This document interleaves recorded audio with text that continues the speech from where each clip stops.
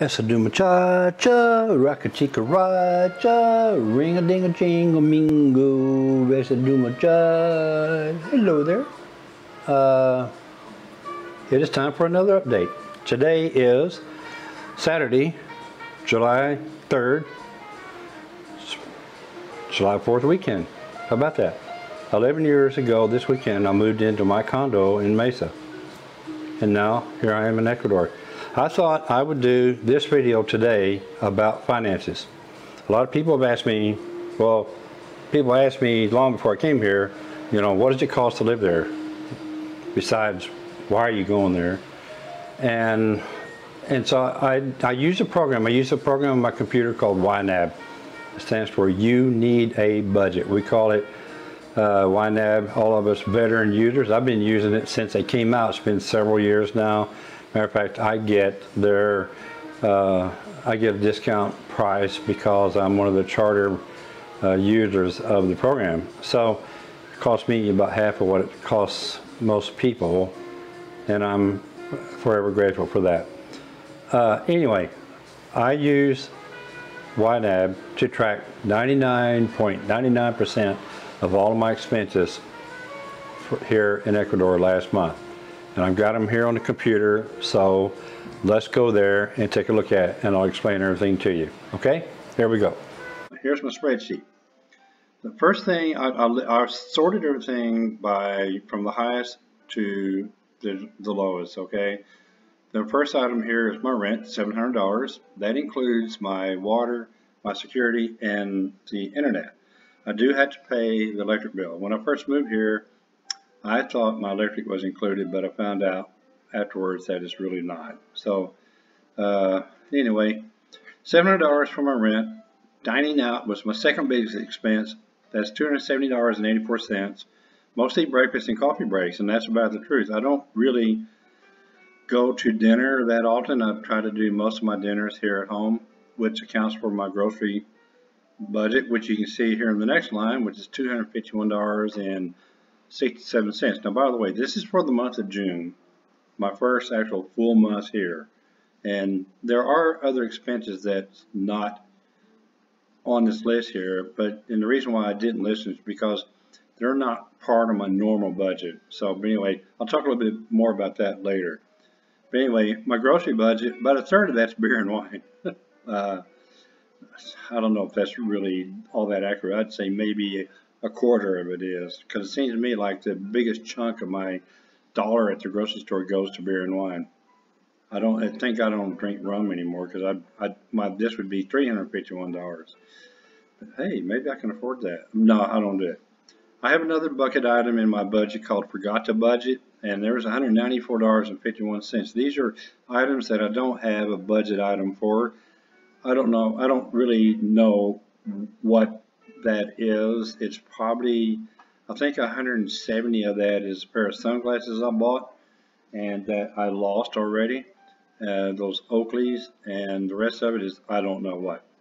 Home, which is right here, household goods like my iron, pressure cooker, fan, etc.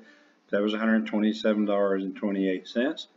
My next one is the pharmacy, 121.91. Now that's prescriptions, lotion, band-aids, that I had to use for my a blister that I had on my foot and so forth. Little stuff like that, you know, and that's probably pretty high for a month and I don't really, hopefully I won't need to buy, I know that about probably $60 of that is prescriptions. Clothing is the next one, $110.71. Shoes and t-shirts from Amazon that are ordered in the States.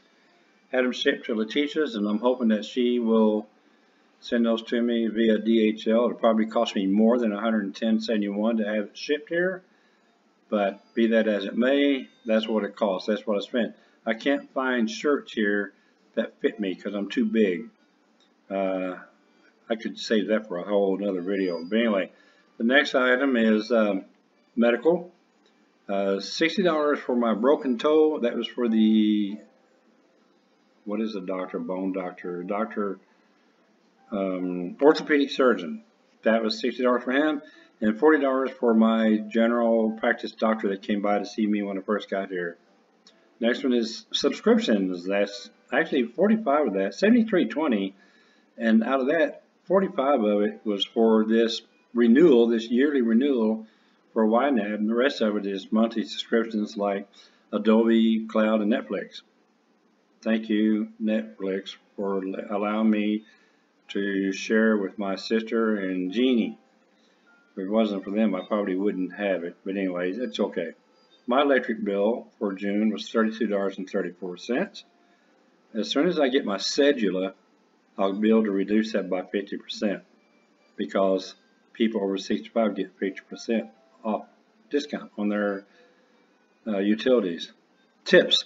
Tips 27.25. That includes the guards downstairs that help me with stuff like taking big loads of trash out, helping me bring my groceries up. They even open the, the garage door downstairs when they see me coming up the street on their cameras. And they'll open the garage door just enough for me to get through. And I don't have to walk up the stairs to get into the building. And I'll take the elevator on up to my apartment. Those guys are really great. And so I tip them a dollar here and there. My cell phone, 2320, it'll be 50% off when I get my cedula. So it'll be $10 plus tax. My laundry, 1850. Weekly laundry services. This is awesome. This lady comes by on Monday, picks up my laundry, brings it to me on Tuesday. It's usually $6 to $7. Depends on how many pieces I have. She does a great job. She folds everything. And if I wanted to do the laundry myself, I could do it for $3 a load down in the basement and but I have to stay there while it's being while everything's being washed and everything's being dried. It's cheaper and easier for me to have somebody do it for me, and I'm helping to support the local economy. ATM fees, this is kind of a washout because I get all this refunded by Schwab. Then water. Water is my five gallon bottles of water that cost $2 a piece.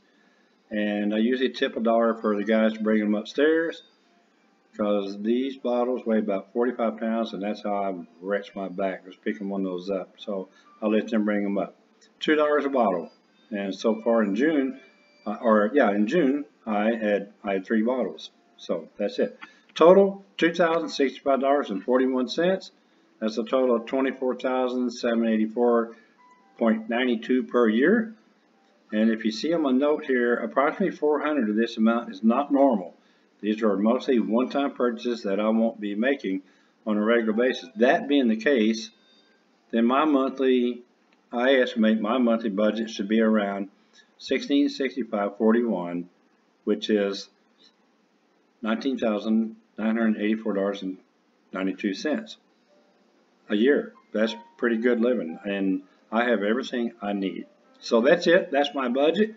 That's what it cost me in June. As you can see, it's pretty cheap to live here.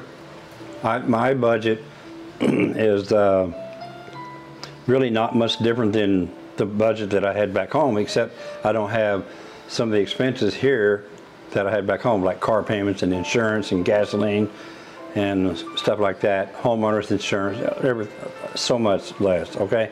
So anyway, if you enjoyed the video, if you got any use out of this, please give me a thumbs up thumbs up, okay? And if you like, you can subscribe. And if you like even more, you can ring the bell and you will get notifications from YouTube whenever I post a new video like this one, okay? Have a nice day from Ecuador, Manta, Ecuador in the Manabi province. Thanks for watching.